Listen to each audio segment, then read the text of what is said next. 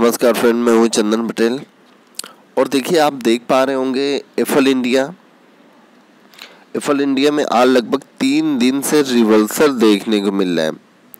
भले से कैंडल आपको थोड़ा सा यहाँ पे डाउन देखने को मिल रहा है, लेकिन आप अगर ध्यान से देखेंगे तो आपको यहाँ पे हर एक कैंडल हर एक कैंडल आपको एक अपर ट्रेंड दिखाई देगा।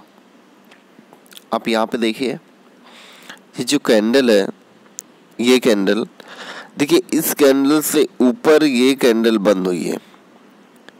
और फिर इस कैंडल से ऊपर ये कैंडल बंद हुई है ये तो आपको देख, देखने को मिल रहा है कि ये अपर ट्रेंड में है। लेकिन ये कैंडल आपको ऐसा लगेगा कि ये डाउन ट्रेंड में लेकिन ऐसा नहीं है। वो डाउन ट्रेंड में भले से ही बंद हुआ है लेकिन वो अपर ट्रेंड ही है। क्या एफिल इंडिया में गिरावट ख़त्म हुई है? तो देखिए, हम उसके ऊपर बात करते हैं कि पहले स्टॉक यहाँ पे आया था। आप देखिए, जब ये यहाँ पे गिरावट आई थी बहुत ज़्यादा, फिर यहाँ पे ये स्टॉक अपर सर्किट मारा था। आप यहाँ पे देखिए, अपर सर्किट मारा, फिर उसके बाद डायरेक्ट ओपन यहाँ पे हुआ। फिर वहाँ से ये स्टॉक धीरे धीरे धीरे धीरे धीरे करके करेक्शन में आया। और ये मैंने डे वाइज चार्ट लगाए हैं। वनडे का चार्ट है, आप यहाँ पे देखिए। अगर मैं यहाँ पे वीकली चार्ट लगाऊँ तो वीकली चार्ट में आपको एकदम ज़बरदस्त पता चलेगा कि मैं जितनी भी वीडियो आप देखेंगे, सब वीडियो में मैंने बोला है कि एफल इंडिया लगभग लगभग यहाँ पे सपोर्ट लेगा। ये जो बॉक्स ट्रेडिंग का, जो इसका जोन है, वो यहाँ पे सपोर्ट लिया था पहले और सेम जगह पे ही सपोर्ट लेगा। तो आप देखिए, लगभग लगभग लगभग एक वही जोन है। आप देख पा रहे होंगे।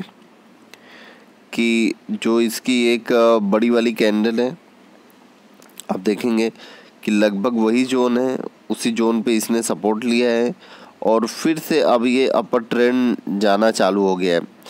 तो अभी मेरे को लगता है कि इसमें और ज़्यादा गिरावट नहीं होगी। अगर इसमें गिरावट होगी भी तो बहुत नामात्र होगी। इससे ज़्यादा अब ये गिरावट नहीं होगी। तो आपको यहाँ पे कम से कम साठ से सत्तर परसेंट की होल्डिंग खरीद लेनी चाहिए। अगर आपके पास पहले से ये माल पड़ा हुआ है तो आपको यहाँ पे इस लेवल पर आपको ज़रूर से ज़रूर जो एवरेज है, आपको यहाँ पे ख़रीद के एवरेज लाना चाहिए। अगर आपने यहाँ पे ख़रीदा है, इधर ख़रीदा है, इधर ख़रीदा है तो भी कोई दिक्कत नहीं है। आप यहाँ पे अगर ख़रीदेंगे तो आपका एवरेज लगभग लगभग इधर आ जाएगा। या इधर आ जाएगा। अगर आपने यहाँ पे पाँच क्वांटिटी ख़रीदी है तो आप यहाँ पे दस क्वांटिटी ख़रीदेंगे तो आपका एवरेज यहाँ पे आ जाएगा। तो हमेशा उस हिसाब से खरीदिए कि आपका एवरेज थोड़ा और कम आए, ठीक है?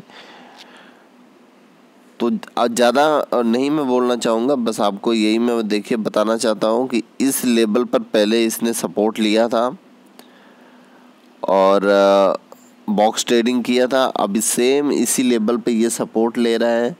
और सपोर्ट लेने के बाद ये यहाँ से बाउंस बैक करेगा। अगर ये यहाँ से बाउंस बैक करता है तो फिर से अपर सर्किट का सिलसिला जारी हो जाएगा तो आपको और भी इस स्टॉक में इंट्री लेने का मौका नहीं मिलेगा। जो भी मौका है, सब यहीं पे है, क्योंकि आपको पता ही है कि ये बहुत तेज़ी से जंप मारता है। और यहाँ पे मैं अगर मंथली चार्ट लगाऊँ तो आपको देखने को मिलेगा कि देखिए यहाँ पे इसकी ओपनिंग हुई थी, फिर उसके बाद यहाँ पे गया था स्टॉक फिर डाउन आया था, फिर उसके बाद यहाँ पे आने के बाद थोड़ा सा फिर डाउन गया। फिर यहाँ पे देखिए ये स्टॉक आया, फिर यहाँ पे बॉक्स ट्रेडिंग फिर ऊपर गया, फिर बॉक्स ट्रेडिंग फिर बहुत ही ऊपर गया। थोड़ा नहीं, बहुत ही ऊपर गया। छः हज़ार दो सौ तीन सौ के आसपास गया था मैं, अगर यहाँ पे देखूँ तो आपको यहाँ पे देखने को मिलेगा कि छः हज़ार दो सौ पचासी रुपये पैंसठ पैसे।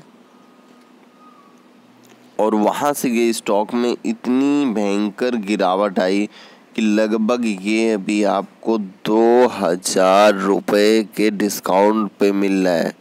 कितना? दो हज़ार रुपये के डिस्काउंट पे, जो कि बहुत ही एक बेस्ट लेवल है। अगर आपने यहाँ पे मौका छोड़ दिया तो फिर आपको ये स्टॉक मिलने वाला नहीं है। ठीक है? ये चीज़ आप ध्यान रखें। Okay thank you friend